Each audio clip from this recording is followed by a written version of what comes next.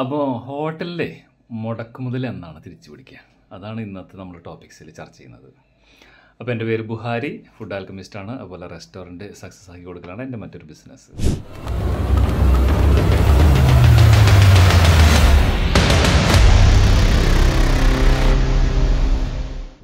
അപ്പോൾ നമ്മൾ ഭയങ്കര പൈസ ഒക്കെ ഇതിന് ചിലവാക്കിയിട്ടാണ് ഇതിനകത്തേക്ക് ഇറങ്ങുന്നത്.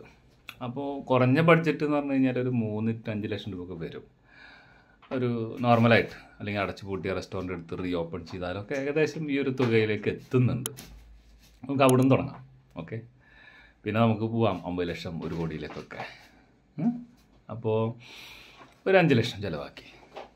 ഈ അഞ്ച് ലക്ഷം രൂപ ചിലവാക്കി കഴിഞ്ഞാൽ നമുക്കത് കിട്ടണമെങ്കിൽ ഒരു പെർ ഡേ ഒരു ആയിരത്തി അഞ്ഞൂറ് രൂപ ലാഭം ഉണ്ടെങ്കിൽ നമുക്ക് ഒരു മാസത്തേക്ക് ഏകദേശം ഒരു നാൽപ്പത്തയ്യായിരം രൂപ പ്രോഫിറ്റ് എടുക്കാൻ പറ്റും. ഒരു വർഷത്തും കൊണ്ട് ആ പൈസ നമുക്ക് മുതലാക്കി എടുക്കാൻ പറ്റും. അപ്പോൾ ഈ ആയിരത്തഞ്ഞൂറ് രൂപ കിട്ടാൻ എത്ര പോകുന്ന റെസ്റ്റോറന്റ് ചെയ്യണം?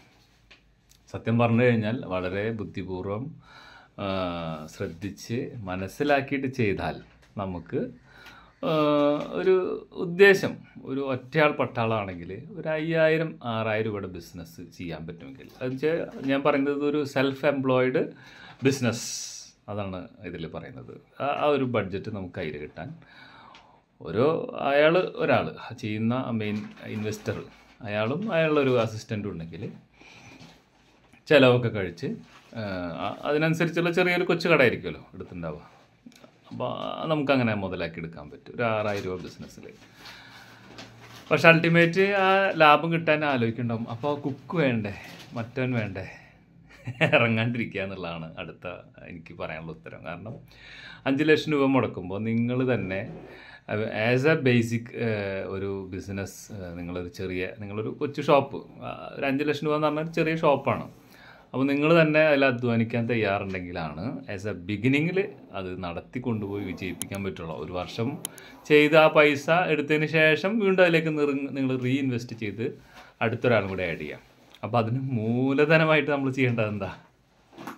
എന്താ ചെയ്യേണ്ടത് നമ്മൾ എന്താണോ ചെയ്യാൻ പോകുന്നത്? ചായയും കടിയും മാത്രമാണെങ്കിൽ ഏറ്റവും മനോഹരമായ ചായയും കടികളും ചെയ്യാനും ചെയ്യിപ്പിക്കാനും ഉണ്ടാക്കാനൊക്കെ പഠിക്കുക എന്നുള്ളതാണ്. അവിടെയാണ് നിങ്ങൾ ആദ്യമായിട്ട് കുറച്ച് പൈസ സ്പെൻഡ് ചെയ്യേണ്ടത്. എന്നിട്ട് നമ്മൾ ഇതിൽ ഇൻവെസ്റ്റ്മെന്റ് ചെയ്യാൻ പാടുള്ളൂ. അങ്ങനെ ശ്രദ്ധിച്ച് ചെയ്യുകയാണെങ്കിൽ ബഡ്ജറ്റ് കൂടും പത്ത് ലക്ഷം. അപ്പോൾ നമ്മൾ കുറച്ചും കൂടി ഇത് നടത്തുന്ന ആൾക്ക് നല്ല വിവരം ഉണ്ടാവണം. അയാൾ തന്നെ മസാല ദോശയും പൊറോട്ടയും അടിച്ചു കൊള്ളണമെന്നില്ല. പക്ഷേ വരുന്ന വന്ന ഒരാൾക്ക് ശമ്പളം കൊടുക്കുമ്പോൾ ആയിരം രൂപ കൊടുക്കുമ്പോഴേ ആയിരം രൂപ കൊടുക്കണമെങ്കിൽ എത്ര രൂപ ബാങ്കിൽ ഇടണം? ഡെയിലി മുപ്പതിനായിരം രൂപ ഒരു മാസം മാറ്റണമെങ്കിൽ ബാങ്കിൽ എത്ര ലക്ഷം രൂപ വേണം? അപ്പോൾ അത്രയും പുറത്താണ് ആയിരം രൂപയ്ക്ക്. മീൻസ് മന്തിൽ മുപ്പതിനായിരം രൂപയ്ക്ക്. ആയിരം രൂപ കൊടുക്കുമ്പോഴേ ഒരു കൊള്ളാവുന്ന ഒരുത്തൻ അവിടെ സ്ഥിരമായിട്ട് നിൽക്കുള്ളൂ അല്ലെങ്കിൽ വന്നവൻ വന്നവൻ ഓടിപ്പോയിക്കൊണ്ടേയിരിക്കും. ക്വാളിറ്റി ഉള്ള ആളുകൾ കിട്ടാനും പ്രയാസമാണ്. അപ്പോൾ ആ ക്വാളിറ്റി നിങ്ങൾക്ക് ഉണ്ടാക്കാൻ ആകെ പത്ത് ദിവസത്തിന്റെ പണിയേ ഉള്ളൂ സത്യത്തിൽ. പിന്നെ അതിവിദഗ്ധരായിട്ടുള്ള ആളുകളൊക്കെ സമീപിച്ച് ഇതിന്റെ മെനു എങ്ങനെ സെറ്റ് ചെയ്യണം എന്തിട്ടാലാണ് എനിക്കത് സർവൈവ് ചെയ്യാൻ പറ്റുക എന്നുള്ളൊരു കാൽക്കുലേഷനൊക്കെ ഉണ്ടാക്കി കഴിഞ്ഞാൽ വളരെ ബഡ്ജറ്റ് ഫ്രണ്ട്ലി ആയിട്ടും വളരെ എക്കണോമിക്കലായിട്ടും ശ്രദ്ധിച്ച് നിങ്ങൾക്ക് എന്ത് ചെയ്യാൻ പറ്റും? അത് സ്റ്റാർട്ടപ്പ് ചെയ്തിട്ട് ലാഭം ഉണ്ടാക്കാൻ പറ്റും. നമുക്ക് ആ അഞ്ച് percentage success ratio five percentage ആണെന്നാണ് ടോട്ടൽ പറയുന്നത്. അതിന്റെ ഉള്ളിലേക്ക് ആദ്യം കയറാം നമ്മൾ ഇത് ഇത് ഈ എപ്പിസോഡുകളിലൊക്കെ ഉദ്ദേശിക്കുന്നത് നമ്മുടെ നാട്ടിലെ സകല ആളുകളെയും ഈ ഹോട്ടൽ ഇൻഡസ്ട്രിയിൽ ഇറങ്ങി കഴിഞ്ഞാൽ തോറ്റു എന്ന് പറയരുത്. പൂട്ടി എന്ന് പറയരുത്. ആ രൂപത്തിലേക്ക് മാറ്റുക എന്നുള്ളതാണ് എന്റെ ഏറ്റവും വലിയ ഇന്റൻഷൻ എന്തെങ്കിലുമൊക്കെ നല്ല നന്മകൾ ചെയ്തു വെക്കണ്ടേ. അതിന്റെ ഒരു ഭാഗമാണെന്ന് കരുതിക്കോളും. അപ്പോൾ ഇരുപത് ലക്ഷമാണ് ബഡ്ജറ്റെങ്കിൽ ഒരു നാല് ഡിപ്പാർട്ട്മെന്റൊക്കെ ചെയ്യാൻ ഉദ്ദേശിക്കുന്നുണ്ടെങ്കിൽ നമ്മൾ അതിനെക്കുറിച്ചിട്ട് നല്ല അവെയർ ആയിരിക്കണം. കാരണം മസാല ദോശ മാത്രമായിട്ടാണ് ചെയ്യാൻ ഉദ്ദേശം. അതായിരിക്കും ചിലർക്ക് അംബീഷൻ ട്വന്റി ഫോർ അവേഴ്സ് അത് ചെയ്യണമെന്ന് ഉദ്ദേശിക്കുന്ന ആളാണ്. എങ്കിൽ ആ നൂറ് മസാല ദോശ ചെയ്യുന്ന സ്ഥലങ്ങളിൽ പോയി നിന്ന് കണ്ട് കഴിച്ച് സജഷൻ ഞാൻ തരാം. അവിടെ പോയി കണ്ട് കഴിച്ച് ആ ഡിഫറെന്റ് ക്വാളിറ്റി മനസ്സിലാക്കിയിട്ട് അത് നമ്മൾ അവിടെ കൊണ്ടുവന്നിട്ട് എന്ത് ചെയ്യണം? എക്സിക്യൂട്ട് ചെയ്യണം. കുറച്ച് ഒരു മസാല ദോശ ചൂടാൻ പഠിക്കാൻ ആകെ ഒരു രണ്ടോ മൂന്ന് ദിവസത്തെ ട്രെയിനിങ് മതി. നിങ്ങൾ ചെയ്യണമെന്നില്ല. നിങ്ങൾക്കൊരു നോർമൽ ലേബർ കിട്ടിയാൽ പോലും അതെന്ത് ചെയ്യാം? പരിശീലിപ്പിച്ചെടുക്കാൻ പറ്റും. അതാണ് അതിന്റെ ഒരു ഗുണം. ഇത് മനസ്സിലാക്കിയാൽ. അങ്ങനെ ചെയ്യുമ്പോൾ ഞാൻ ഈ പറഞ്ഞ ബഡ്ജറ്റ് പോലെ നിങ്ങൾ വളരെ വെൽ കാൽക്കുലേറ്റഡ് ആയിരിക്കും. വെൽ പ്ലാൻഡ് അപ്പോൾ നിങ്ങൾക്ക് ട്വന്റി തൗസൻഡ് ബിസിനസ് ഉണ്ടായി കഴിഞ്ഞാൽ പ്രൊഡക്ഷൻ കോസ്റ്റ് ഒരു പത്ത് രൂപ മാറ്റി. ഒരു മൂവായിരം രൂപ ശമ്പളത്തിലും ഒരായിരം രൂപ വാടകയിലും മാറ്റിയാലും ആറായിരം രൂപ നിങ്ങൾക്ക് മാറ്റി വയ്ക്കാം ട്വന്റി ലാക്സിന് ഈക്വലായിട്ട് അപ്പോൾ നമുക്ക് മാസം എന്ത് കിട്ടാം?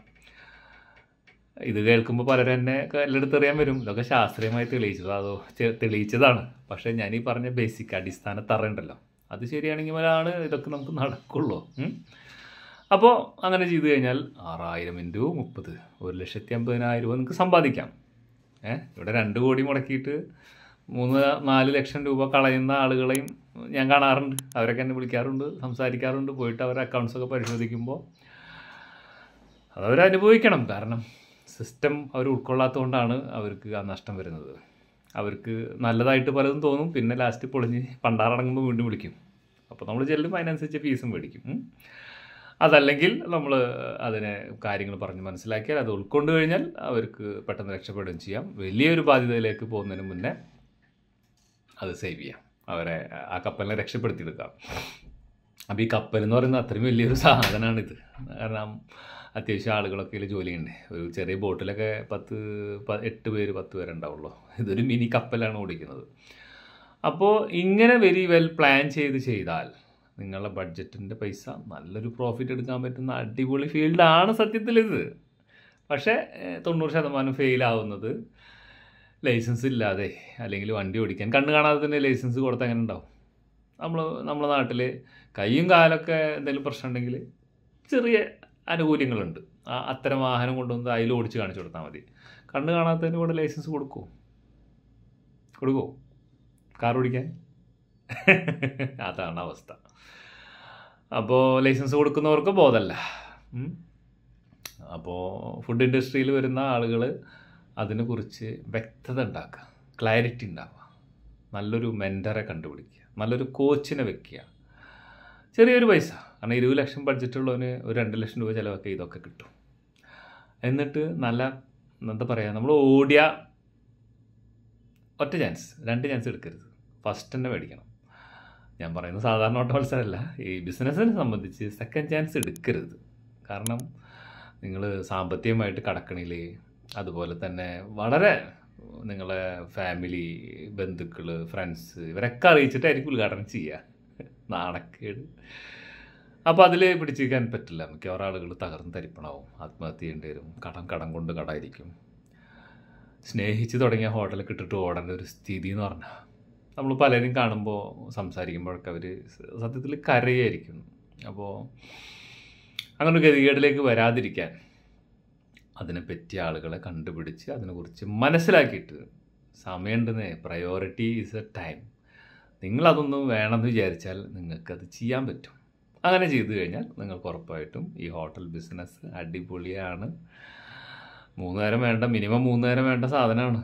അപ്പോൾ ഇതിൽ സക്സസ് ഉണ്ടായിട്ടില്ലെങ്കിൽ പിന്നെ എവിടെ സക്സസ് ഉണ്ടാവുക ഉണ്ടാവുമോ ഉണ്ടാവില്ല അപ്പോൾ അത് നമുക്ക് ഉണ്ടാക്കണമെങ്കിൽ അതിന്റെ ബേസിക് ആയിട്ടുള്ള കാര്യങ്ങൾ നന്നായി പഠിച്ച് അതിന്റെ സിസ്റ്റം മനസ്സിലാക്കി ആ സിസ്റ്റത്തിനകത്തേക്ക് നിങ്ങൾ എന്റർ ചെയ്ത് നോക്കൂ. വെറും കാലി ചായ വിറ്റാൽ നിങ്ങളെക്കൊണ്ട് നല്ല രീതിയിൽ സമ്പാദിപ്പിക്കാൻ എനിക്ക് കഴിയും.